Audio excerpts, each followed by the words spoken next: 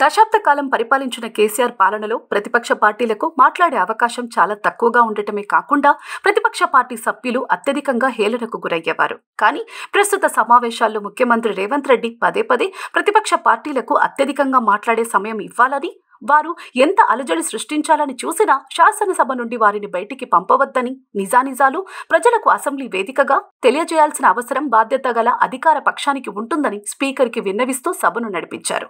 గతంలో కేసీఆర్ ముఖ్యమంత్రిగా వ్యవహరించిన సమయంలో శాసనసభ సమావేశాలు చాలాసార్లు బీఆర్ఎస్ పార్టీ అంతర్గత సమావేశాల లాగా ఉండేవని కొంతమంది మేధావులు బహిరంగంగా ప్రకటించారు. కేసీఆర్ వారి కుటుంబాలకు చెందిన మంత్రుల శాఖలు తప్ప మిగతా అన్ని శాఖల గురించి కూడా కేసీఆర్ లేదా కేటీఆర్ అసెంబ్లీ సమావేశాలలో బయట ప్రకటనలు గుప్పించడం ప్రజలు మరవలేదు. కానీ ప్రస్తుత ప్రభుత్వంలో ప్రతి ఒక్క మంత్రి బాధ్యతగా వ్యవహరిస్తూ తమ శాఖలను స్వేచ్ఛగా స్వతంత్రంగా నిర్వహించారు. శాసనసభ వ్యవహారాలు ఐటీ శాఖ మంత్రిగా ఉన్న శ్రీధర్ బాబు ఒకవైపు శాసనసభ నిర్వహణలో తలామునకలై ఉంటూనే మరోవైపు ముఖ్యమంత్రి రేవంత్ రెడ్డి ఉప ముఖ్యమంత్రి బట్టి విక్రమార్కతో సమన్వయం చేస్తూ ప్రతిపక్షాల ప్రశ్నలకు సున్నితంగా ఘాటైన సమాధానం చెబుతూ చాకచక్యంగా వ్యవహరించిన తీరు ఎంతో మంది యువ రాజకీయ నాయకులకు ఆదర్శనీయం. ముఖ్యంగా శాసనసభ నిర్వహణలో అధికార ప్రతిపక్ష పార్టీలకు మధ్య సమన్వయం చేస్తూ గత పది సంవత్సరాల ఆచారాలకు భిన్నంగా చాలా అంశాలపై అర్ధరాత్రి వరకు విస్తృత చర్చలు జరిపేటట్లు చర్యలు తీసుకోవటంలో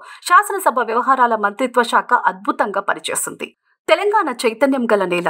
ప్రతి రాజకీయ నాయకుని ప్రవర్తనను విధి నిర్వహణను తెలంగాణ సమాజం చాలా నిక్కచ్చిగా పరిశీలించి అవసరమైన సమయంలో స్వేచ్ఛగా తమ నిర్ణయాన్ని తెలిపే ఆచారం ఇక్కడి మట్టికి ఉంది. అధికారం కోల్పోయిన అక్కసుతో ప్రతిపక్ష పార్టీ అధికారంలో వచ్చిన ఆనందంలో అధికార పార్టీ తమ పరిధిని దాటి వ్యవహరిస్తే ప్రజలు బుద్ధి చెప్పిన సంఘటనలు ఎన్నో ఉన్నాయి. ఈ బడ్జెట్ సమావేశాలు గత సమావేశాలకు భిన్నంగా కాంగ్రెస్ పార్టీ చర్చల్లో ఆధిపత్యాన్ని ప్రదర్శించిందని తెలంగాణ ప్రజలు స్పష్టంగా భావిస్తున్నారు.